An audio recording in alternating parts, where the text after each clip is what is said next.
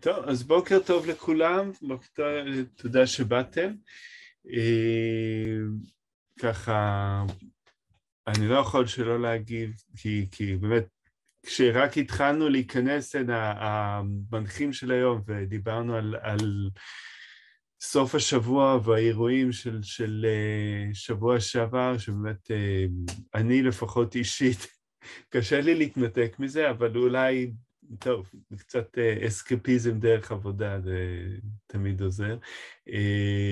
אז באמת אנחנו היום הכנו יום עיון בנושא של מציאות מדומה, רבודה ואחרת. היוזמה ליום הזה התחילה מאסנת, דרך ההשתתפות שלה בקורס והסמכה שאנחנו עושים לטכנו-פדגוגים, זה גם נושא שהיא חוקרת במסגרת עבודת המאסטר, ובמסגרת הקורס ככה המשתתפים התבקשו להעביר איזושהי סדנה או יום עיון והיא בחרה את הנושא הזה. אני חשבתי שזה נושא מאוד מעניין, מאוד ככה מסקרן מצד אחד, מצד שני יש עליו גם הרבה חששות וספקות ודברים שחשוב לשים אותם על השולחן. ואז התחלנו לחפש אנשים שיכולים לתרום בעיקר פרספקטיבות מעשיות בתחום, אז בנינו את הפאנל הזה ש... שאנחנו נציג בפניכם היום, ואני בעצם בזה אסיים ואעביר את השרביט לאסנת, אז תודה רבה. אז שלום לכולם ובוקר טוב. שמי אסנת, אני ראש מדור הוראה וטכנולוגיות למידה במכללה האקדמית להנדסה, אורד בראודה. ומציאות מדומה, מציאות מורחבת, מה שנקרא XR, זה, זה, זה הפשן שלי. זה נושא שאני מאוד מאוד מתחברת אליו ומאוד אוהבת אותו, ואני חושבת שבהחלט... אוי, מה קרה?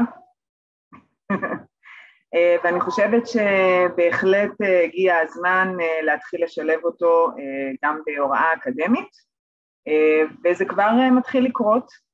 אז היום בעצם הכנו לכם, כמובן גם בעזרתו הרבה של ישי, יום מאוד מאוד מעניין, שיכלול גם חלק שהוא יהיה ככה קצת יותר תיאורטי, אבל הדוברים יתחלפו בו, אז זה יהיה מעניין מהבחינה הזאת, ואחר כך יהיה לו גם חלק קצת יותר סדנאי, שתכף נפרט עליו, נפרט עליו, אז בחלק התיאורטי אנחנו ניגע בנושא הזה של מציאות מורחבת מכל מיני היבטים, מכל מיני כיוונים.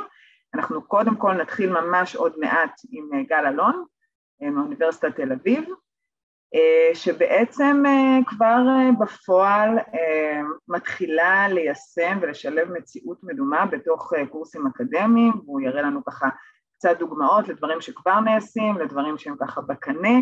אני ראיתי את זה כבר, לפחות חלקית, וזה סופר סופר מעניין, ואם יורשה לי לומר, גם מרגש. ואז אנחנו נעבור גם לשמוע את שרון ארדוף ממכללת לוינסקי, שמיישמת כבר מזה מספר שנים, נכון, שרון? המרכז האקדמי לוינסקי, נכון? המרכז האקדמי לוינסקי. ביקשו מאיתנו ככה זה, וכן, אבל מאוד מאוד בצנעה, זה דווקא טוב לי אחרי גל. מצוין, מצוין. אז באמת יישומים של מציאות רבודה, שהם בתוך קורסים אקדמיים, שזה כמובן גם מאוד מאוד מעניין אותנו, ובהמשך אנחנו נעבור ליונתן גירון מאוניברסיטת רייכמן, שבעצם מיישמת בצורה מאוד מעניינת תרחישים של מציאות מדומה, מזה זמן מה, גם לאורך תקופת הקורונה, והם כמובן ממשיכים עם זה הלאה, ויש ככה לא מעט ללמוד מהניסיון שלהם בהקשר הזה, ונקנח את החלק התיאורטי הזה עם בעצם איזשהו פירוט שלי על מחקר איכותני שעשיתי, על עמדות של מרצים כלפי שילוב מציאות מדומה בהוראה אקדמית. יש שם דברים מאוד מעניינים, לא נעשה ספוילרים. זה יהיה החלק התיאורטי. בחלק בעצם הסדנאי אנחנו נתחלק לקבוצות וננסה לחשוב בתוך הקבוצות הקטנות על סיטואציות הוראתיות של לומדים, שבהם אולי אפשר ככה ליישם מציאות מדומה, גם אם זה מאתגר. ננסה ככה לעשות על זה איזשהו סיום מוחין, ומה שייצא מתוך הסשן הזה זה לא רק השיח בתוך הקבוצה ואולי השיתוף אחר כך במליאה, אלא גם איזשהו מאגר של כל מיני תרחישים אפשריים ליישום במציאות מדומה, שיוכל אה, בעצם אה, לשמש את אה, כולנו ואולי גם אחרים במוסדות להשכלה גבוהה בשביל לקבל איזושהי השראה. אז אנחנו מזמינים אתכם תוך כדי הסדנה הזאת לקבל השראה גם מהדוברים שידברו כאן בשביל להעלות אצלכם רעיונות שקשורים אולי לעולמות התוכן שלכם.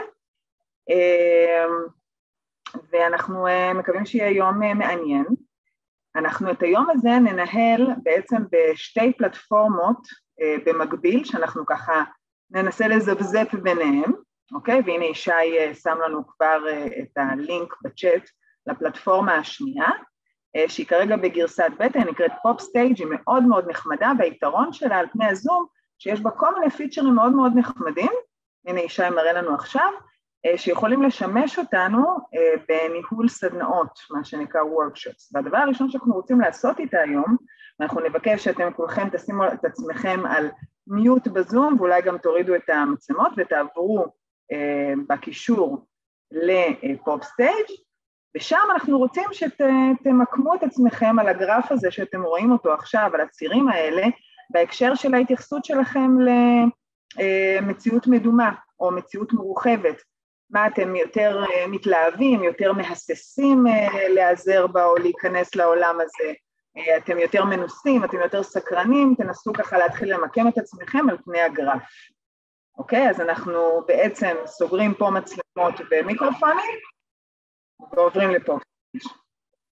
לצורך התרגיל הזה.